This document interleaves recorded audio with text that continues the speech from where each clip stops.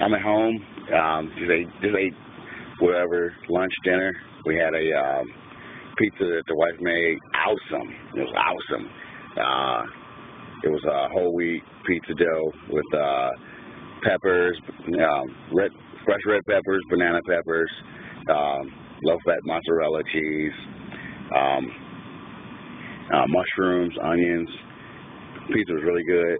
And to top it off, grape Kool-Aid. Oh yeah, it was sugar-free though. Um, grape Kool-Aid, awesome.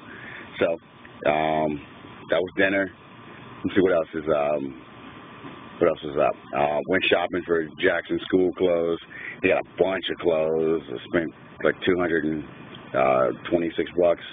Uh, that's after the 10% coupon at the children's place. Put it on the credit card. Yeah, my side smoking, so don't mind me. Um, let's see what else.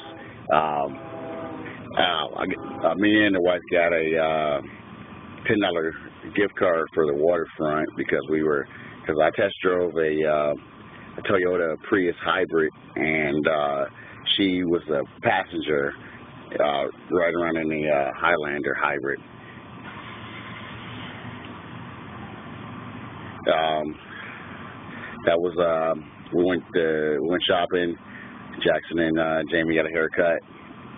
Um, had coffee. Get, get Jackson myself a donut, Dunkin' Donuts. See what else?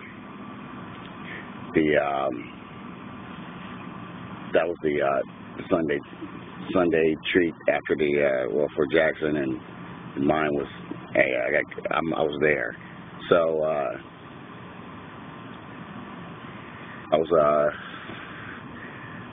off the diet with the donut, but uh, I'm gonna go to the gym later on. Anybody uh, anybody watching this, uh, Planet Fitness is off, that's off the chain. Uh, there's a couple of them over here in Pittsburgh. It's one in my house, so I uh, joined.